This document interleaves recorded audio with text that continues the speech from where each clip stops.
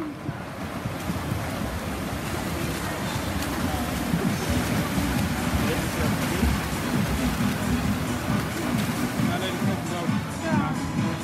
dat heeft je gewoon nodig. Om een beetje hard te houden.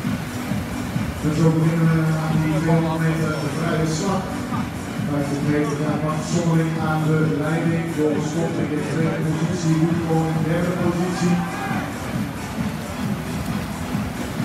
En dan weet je nog dat Weerman inderdaad de Nederlandse kampioen met de lange baan. Maar dat weet hij altijd races zwemt.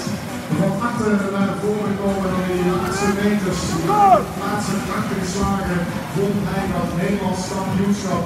En hier van 7 naar positie nummer 3. Nou, het is het is Zelfs een positie nummer 2 weer dus de tweede positie van Sommeling naar de eerste positie. De Ja, je ziet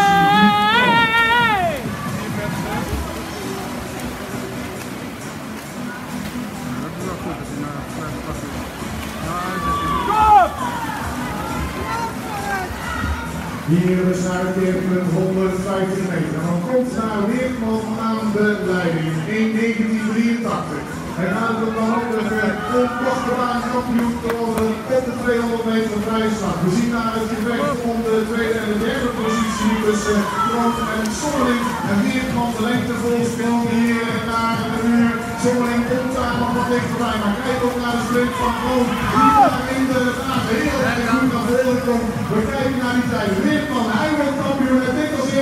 De 1.46, 52. Zoals als een race zwemmen.